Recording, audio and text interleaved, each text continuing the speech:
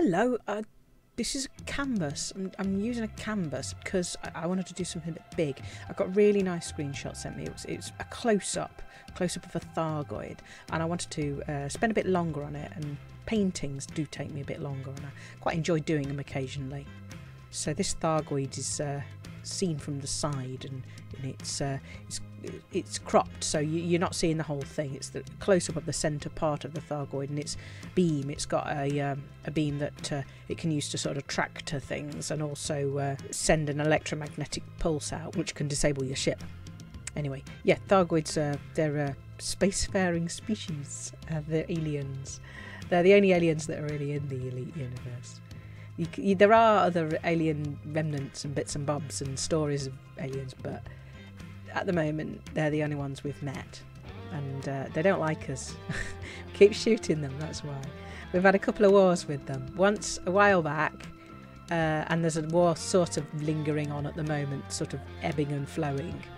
But a while back, I mean, like, you know, a few hundred years back, in the original game, which is in the story of the game, is, is referred to as being a few hundred years ago. In the original game, you played uh, Commander Jameson, and this character Jameson in in the update of the the story. Jameson is uh, is employed by the military to infect the Thargoids with a virus this bioweapon that they developed. Um, it's the uh, Intergalactic Naval Reserve Army, INRA. They've got a bad reputation now because of this. The uh, this this bioweapon they developed, and they they're a bit shady about it. They they told Jameson that he was off to deliver this payload, this um, this missile in his specially adapted Cobra.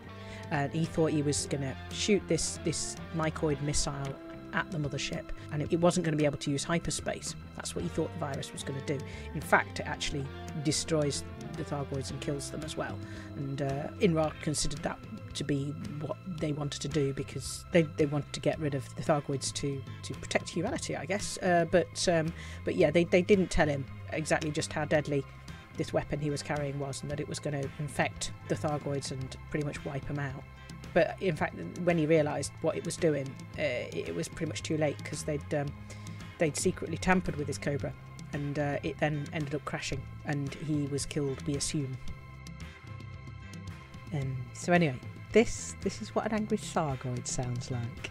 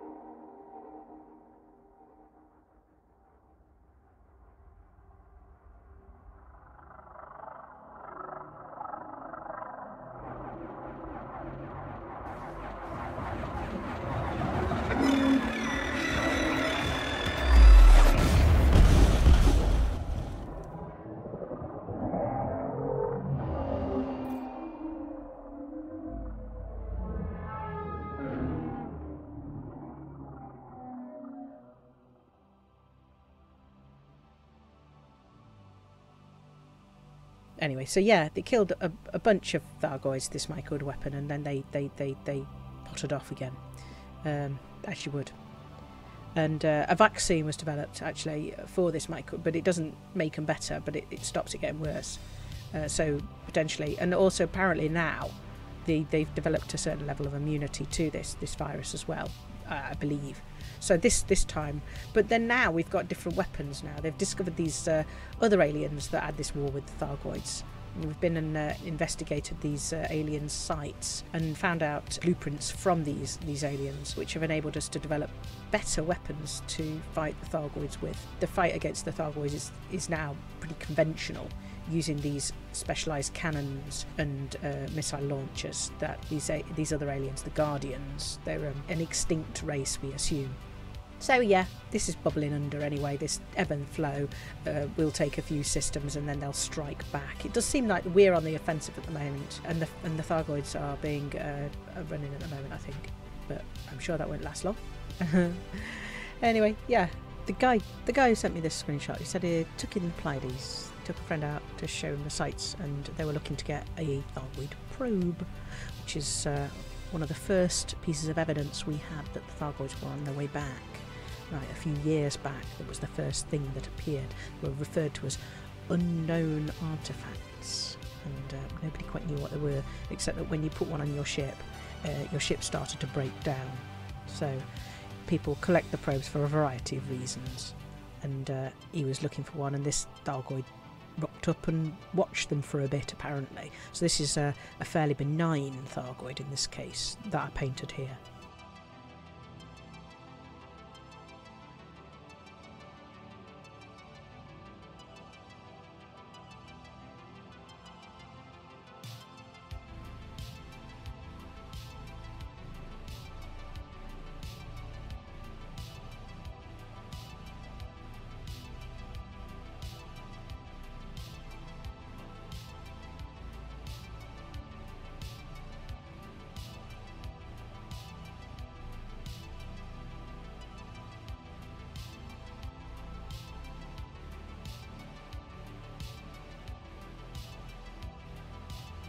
So I'm um, blending colours and putting details on on this painting, uh, trying to show a little bit of the highlight from that, that white star that's at the top and, and starting to add the uh, oranges and yellows from the, the glow, the, the Thargoid's internal um, heat vents or just its, its, its war paint or whatever it is. But these these orange uh, vents they, they they glow, and if, if it gets angry, they'll they'll glow different colour. These these little vents on on the side of, of the Thargoid's petals.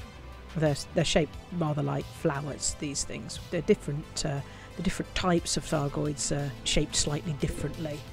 There's the scouts, which are small and uh, look a little bit like the, the original game, a bit like limpets they look, and they're um, the most similar in appearance to the original game's Thargoids. But uh, alongside those, you get now you've got there's a Cyclops, which is a, a kind of a pale bluish green one, which I suspect is this the one that I'm doing here. This is a Cyclops, I think, and it's got four four hearts, and each one of these hearts is uh, it keeps it going rather like you can't. You've got to take out each one of the four hearts if you want to kill it, and uh, it'll have alongside it, it'll have a, a little swarm of little weaponized drones, little Thargons, which are um, will spiral around in various different patterns around you, and they can all batter away at you and cause you damage. They're your entry level horrific nightmare alien combat situation, I guess. But after that, you've got the basilisk. Uh, basilisk's uh, scarier still. it's kind of orangey, and it's got uh, it's got eight petals and a chunky look about it. It's kind of bronzy, chunky thing. It's the fastest uh, of all of the Thargoid interceptors, so it's uh, the one you want to watch, I guess. For that, you need to be able to run away quickly. And it, it, it's got a few more Thargons that it can put out as well. So the Thargon swarm is, is uh, incrementally harder to manage as well. Then, then you get the two more scary ones still. There's two more. The uh, the Medusa, which has got uh, kind of like terrifying red spikes on the end of its, um, and it's it doesn't normally attack you apparently, but uh, it, it, will if if you're um, if you if you poke it. but yeah, if you've got stuff in your hold that it, it, considers to be either dangerous to it or eh, or its own possession, then yeah, it, it will it will pack a punch. And, and it's got six hearts. The Medusa has, uh, and, uh, then finally you've got the Hydra, which looks a little bit like the tip of a, uh, a fir tree. It looks a little bit like a fir tree. It's got it's got green uh, it's got green petals. It's got about 12 green petals and uh, they, they, they're rotating uh, upper petals as well. Spiky and green, basically. It can throw out a terrifying number over 100 Thargons and it has eight hearts. So if, if you want to kill it uh, then you're gonna have to work hard or you're gonna have to have buddies with you. But yeah it, it won't it won't attack you unless you attack it or again as, as I say if you're doing uh, if you're carrying stuff that it thinks it, it should have or you shouldn't have. Anyway yeah they, they found another one they don't know anything about it yet, but I think that it got dropped into the game by accident, and that's a, a big old blue thing. But no one's quite sure what that one was, so I'm gonna I'm not gonna go on about that one.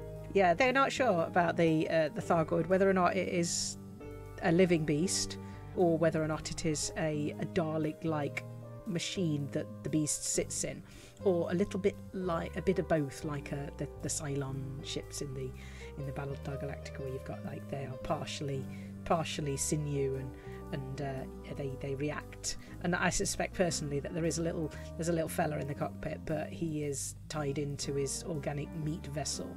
So they're um, yeah they they're intriguing with them being biological spaceships. It's a cool idea. I really like it. It's uh, I mean it, it's certainly not the only instance of this in science fiction, but I think it, it, they've been beautifully programmed. They look amazing. They sound amazing as well. So that is really good. In fact, I've got I've got a little bit more Thargy noise to end the video with. So, happy listening.